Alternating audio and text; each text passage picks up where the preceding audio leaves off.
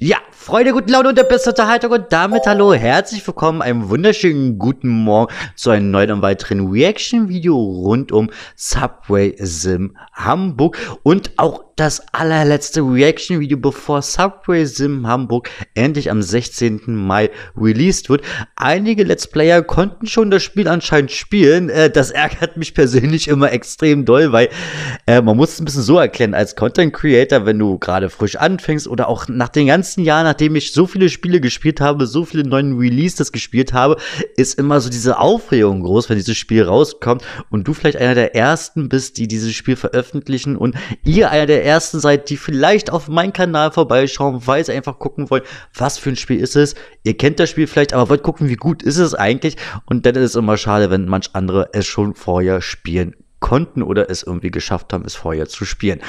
Wie dem auch sei, das letzte Video auch in Sachen Simnex. Simnex ist ja der Kanal rund um Fabian, der ja für Aerosoft hier einspringt und deren Spiele halt so ein bisschen mit deren Let's eigenen Let's Plays ein bisschen vorstellt. Und wie gesagt, das letzte Let's Play Reaction Video hier von Subway Sim, bevor denn der Release erscheint. Und passend zum Titel heißt es auch, wir starten von Rathaus Hamburg. Schon bald ist der Release. Also machen wir mal Vollbild an und dann hören wir mal den lieben Fabian zu. Ich wünsche euch Ganz viel Spaß. Moin Moin und hallo und herzlich willkommen zu einer neuen Folge hier aus dem Subway Sim. Wir starten heute im Hauptmenü und wählen den Expertenmodus. Dort haben wir jetzt gleich die Möglichkeit, verschiedenste Sachen auszuwählen. Von der Karte, Uhrzeit, Station, aber natürlich auch welches Gleis wir fahren möchten und welches Fahrzeug bei welchem Wetter. So können wir unsere Fahrt einstellen. Wir sehen uns gleich nach dem Intro wieder und ich wünsche euch schon mal viel, viel Spaß beim Video.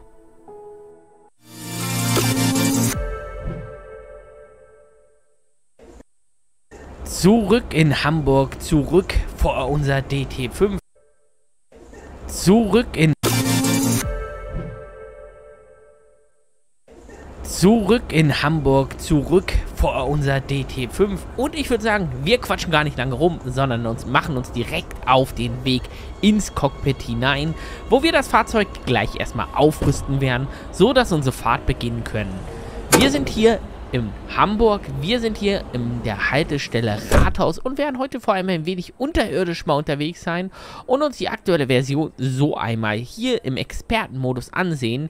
Ihr habt eben im Hauptmenü schon gesehen, da gibt es verschiedene andere ähm, ja, Menüpunkte. Dazu werden wir dann später nochmal kommen und ich gucke mir hier gerade mal fix die Zahlen an. Das heißt, Schlüssel rumdrehen. So, einmal nochmal anklicken und herumdrehen, so dass wir das Fahrzeug auch übernehmen können und gleich unseren Bordcomputer, unser Ibis, voll einstellen können. Es wirkt für mich aber auch jetzt, dass Fabian gerade wirklich die absolute letzte Version wahrscheinlich jetzt hier von Subway Sim Hamburg spielt.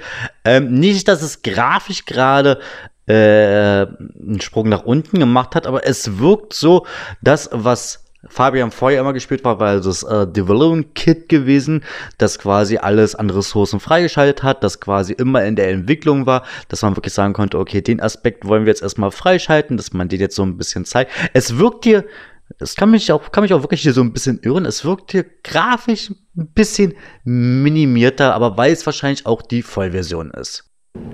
So, einmal runter gucken. Zack, und dann müssen wir jetzt hier die Nummer eingeben. Wir sind am Rathaus, die 79, 16 Uhr 2 haben wir es. Und wir wollen, nochmal kurz gucken, nach unten, das passt. Das heißt, wir brauchen die 86 und die Fahrer-ID. Die wird später noch eine Rolle spielen in Richtung Ansagen. Ist für uns jetzt gerade aber nicht ganz so wichtig. So, mal ganz kurz gucken. Weil Fabian hatte ganz kurz hier wir zur Seite geguckt. Nochmal da, die 86. Ah, da. Die 86, das ist Wandsbeck äh, Gartenstadt. Da wollen wir hin. Also das ist das, was Na, Fabian als äh, Zielergebnis angegeben hat, als das Zielhaltestelle. die 86 und die Fahrer-ID, die wird später noch eine Rolle spielen in Richtung Ansagen. Ist für uns jetzt gerade aber nicht ganz so wichtig. So, wir sollten grünes Signal gekommen haben. Perfekt, Leitstelle hat uns das grüne Signal gegeben und wir können letztendlich unsere Fahrt beginnen.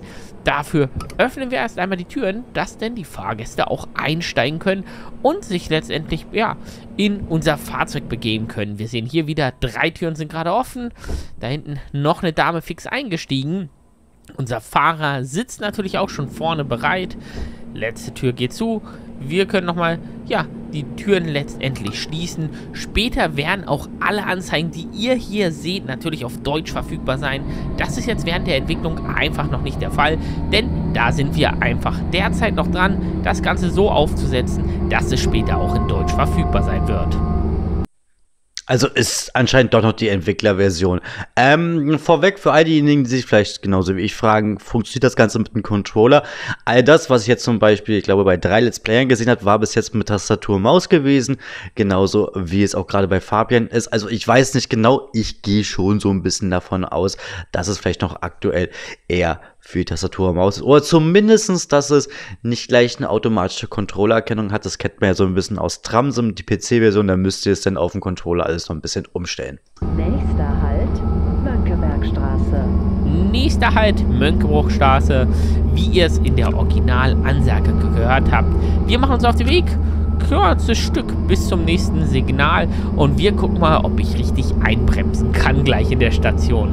Solltet ihr aber neu auf dem Kanal sein oder noch kein Abo dagelassen habt, würde ich mich sehr über das Abo freuen. Ein Like und ein Kommentar wäre natürlich auch Zucker. Und es ist ja gar nicht mehr allzu lange hin, bis der Subways in Hamburg erscheint.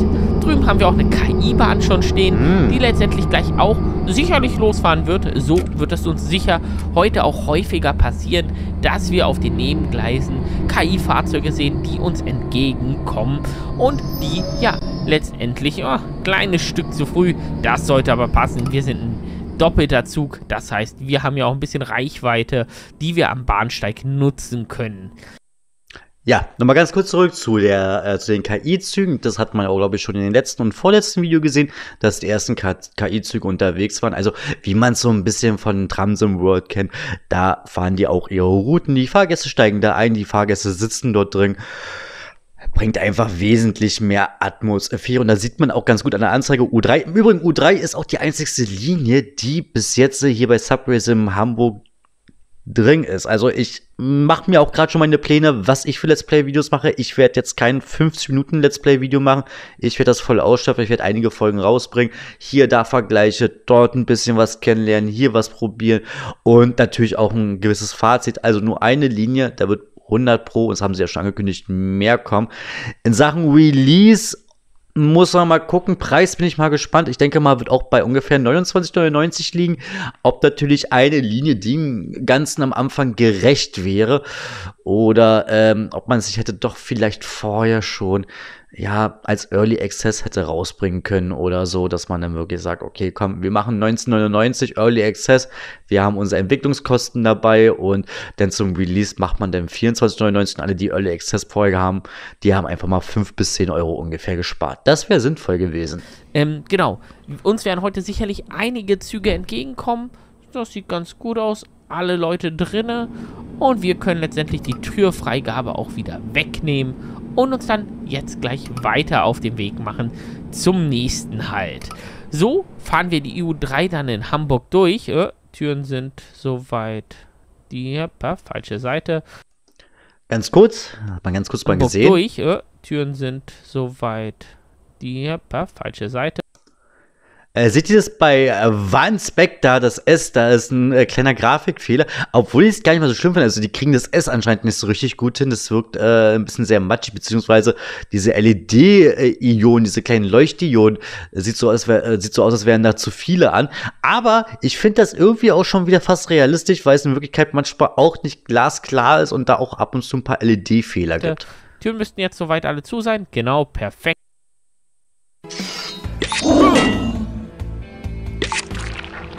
Yes.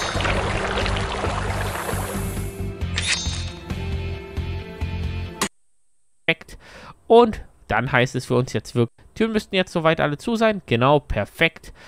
Und dann heißt es für uns jetzt wirklich wieder Gas geben und weiter vorankommen. Ganz zum Schluss zeige ich euch noch ein weiteres kleines Feature, was in den Subway Sim reingekommen ist, was ich besonders cool finde, muss ich sagen. Nächster Halt, Sag es uns jetzt. das ist immer gemein. Man denkt sich dann immer so ein bisschen, oh, das muss ja ein bisschen vorher sagen können. Das macht die Euphorie und die Vorfreude noch größer. Also ich muss wirklich sagen, ich bin ja mittlerweile wirklich ein Riesenfan von den ganzen hier geworden, ähm, wo ich immer so ein bisschen Aerosoft-Hasser äh, war, aber mittlerweile äh, mag ich es irgendwie. Und ich finde es auch sehr sympathisch, dass man halt auch dann selber seine eigenen Let's Plays macht, um das Spiel einfach ein bisschen voranzutreiben und ein bisschen zu zeigen. Hauptbahnhof Süd. Übergang zur S1, S3 und zu den Hafenfähren. Ansagen hier auch wieder. Da bin ich immer mal kurz ruhig, damit ihr die vor allem auch mal hören könnt, damit ihr hört, wie originalgetreu diese Ansagen sind. Die echte Sprecherin, die uns diese nochmal eingesprochen hat und auch viele, viele weitere zusätzliche Ansagen, die wir in Zukunft nutzen können, auch schon vorbereitet hat. So, nächster Halt. Bahnhof müsste das Ganze sein, wenn ich mich recht entsinne. Und wir gucken mal, dass wir ein Stück weiter rollen diesmal und nicht allzu früh stehen bleiben. Das sieht doch schon mal ein ganzes Stück besser aus. Türfreigabe diesmal links.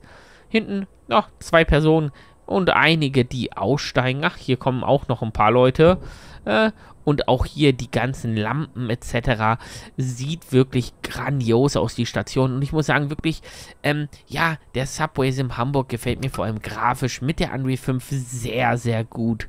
Ähm, ich habe ihn hier nicht auf den ganz, ganz hohen Einstellungen, denn ich war gerade auf Pressetour und habe meinen Rechner noch gar nicht zurück.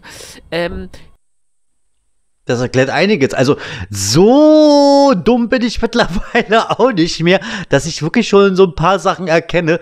Ich habe mich schon so ein bisschen gehört. Also ein paar Sachen, ich habe es ja eingangs erwähnt, mir kam es ein bisschen komisch vor. So ganz volle Möhre läuft das nicht wie in den letzten Views. Also es erklärt schon mal, er spielt die Entwicklerversion, er muss wahrscheinlich auf einen anderen Rechner zugreifen und hat die Leistung ein bisschen runtergeschraubt. Wir sind hier auf den, ja, so mittelhohen Einstellungen. Sprich, solltet ihr grafisch noch ein wenig mehr wollen und euer Rechner das leisten könnt, so lässt sich sich auch noch ein wenig mehr rausholen. Das werde ich dann auch wieder ab dem nächsten Video definitiv zeigen können. Nächster Halt, Berliner Tor.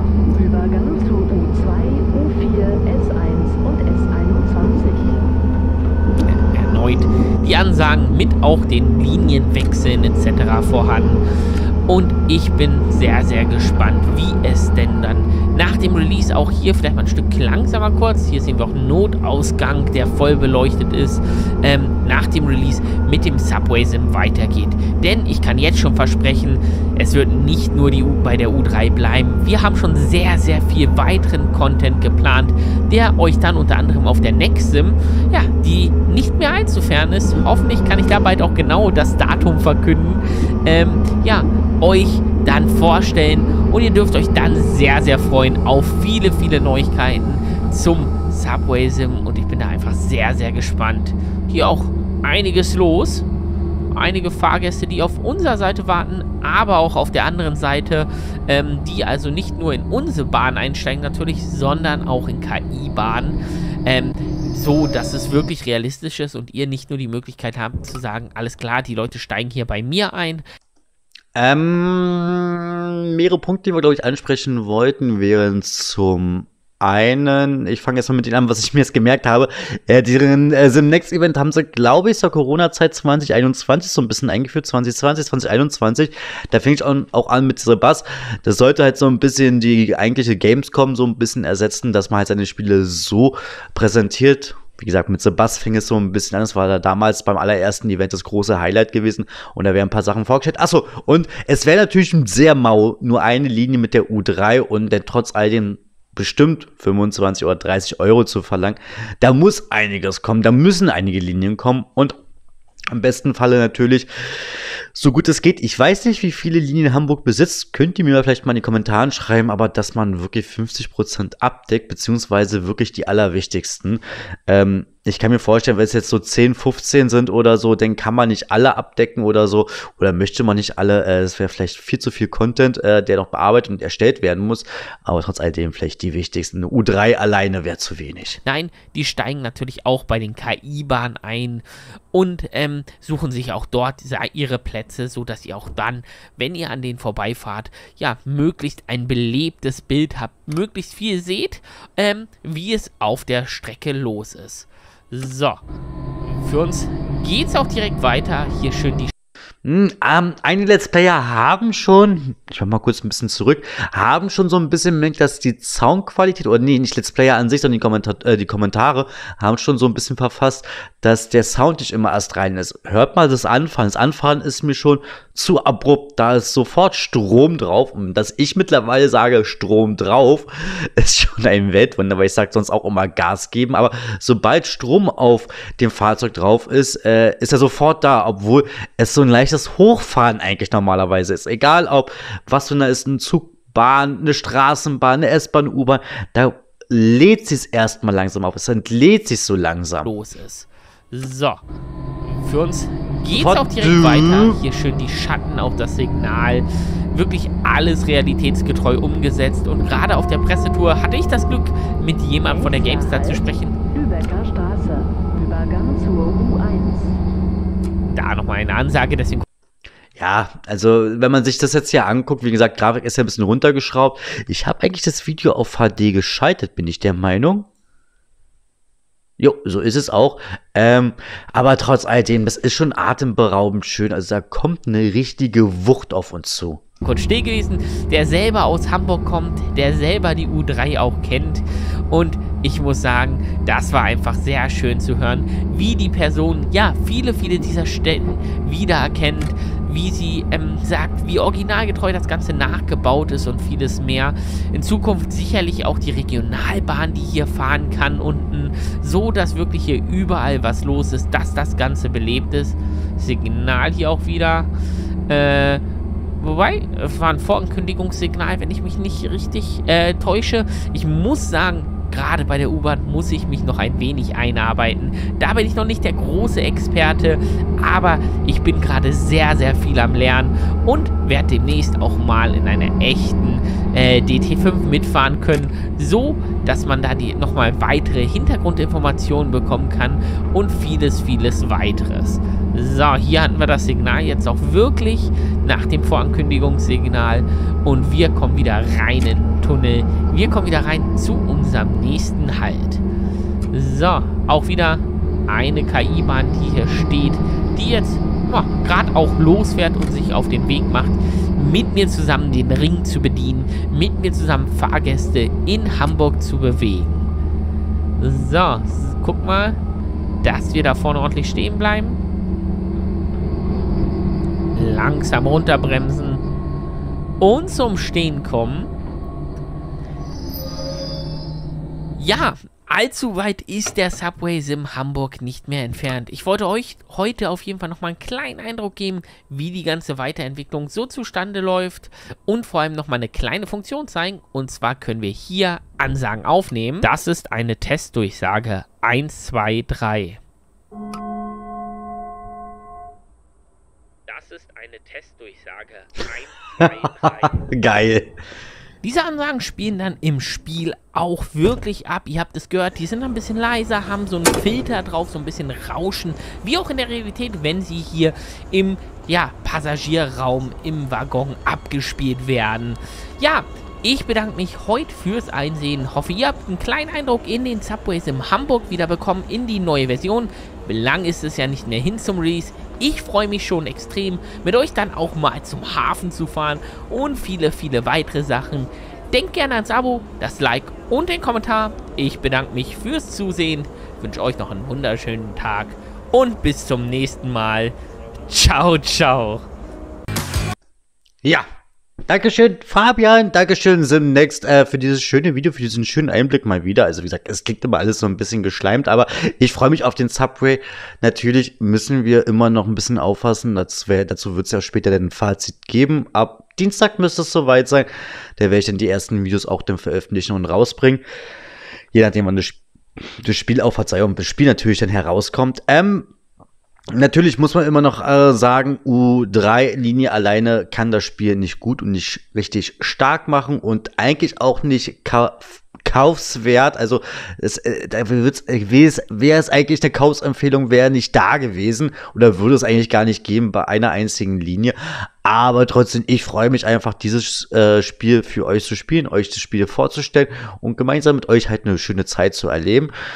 Das war's gewesen, Freunde guten Laune. Es geht die nächsten Tage feuchtfröhlich weiter. Wir werden uns natürlich ein bisschen mehr denn den City Driver widmen. Der hat nämlich noch eine knappe Monat Zeit bis zum Release. Ich glaube, am 6. Juni ist es dann auch soweit. Und ich werde mir ein paar kleine Dokus wieder angucken rund um, ja, Verkehrsbetriebe, sei es in, äh, was war es gewesen? Karlsruhe war es mitunter gewesen. Es war aber auch in Wien und aber auch, glaube ich, mitunter in Hamburg. Also bis dann, Freunde guten Laune. Macht's gut. Auf Wiedersehen und Tschüssikowski.